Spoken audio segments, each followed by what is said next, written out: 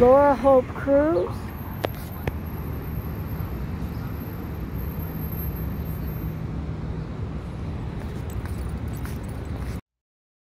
Laura Hope Crews was an American actress, although she is best remembered today for the latter work as a character actress in motion pictures in the of the 1930s. She also was prolific on stage on the films roles were the aunts Pittypat in Gone with the Wind.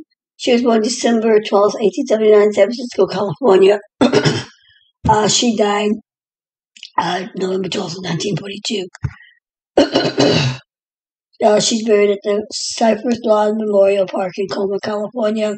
Her parents is John Thomas Crews and Angelina Lockwood. Some of the notable movies she was in was One Foot in Heaven, Rafter Romance, uh, Silver Cord, Ever in My Heart, Idiot's Delight, Her Master's Voice.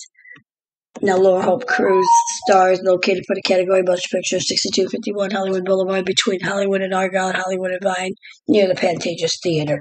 She was a character actress on movie and stage, daughter of stage actress Angelina Lockwood and backstage carpenter John Thomas Crews. Uh, she had three older siblings. Crews started a- acting at the age of four. Her first stage appearance was at Woodward's Garden. She stopped acting to finish school and then returned to acting in 1898. Her best uh, known film was Auntie Pittypat in Gone with the One. Often screen credits include Camille, The Sisters, Idiot's Delight, The Rains Came, and Lubert.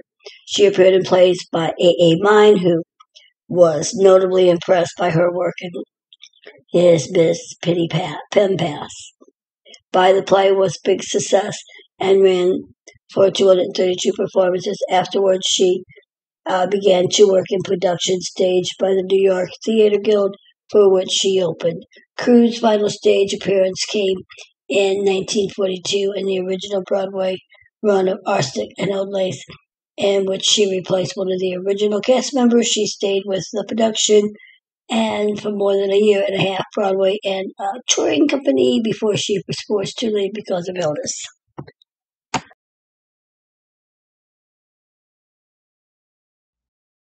Hollywood says you know what to do. Hit that subscribe button, notification bell, leave a comment, let us know what you think, what you want to see. Hollywood says don't forget. Hollywood says remember every star has a story on the Walk of Fame, celebrity home tours, celebrity gravesite tours, studio tours, filming locations, and of course Hollywood history. Hollywood says don't forget.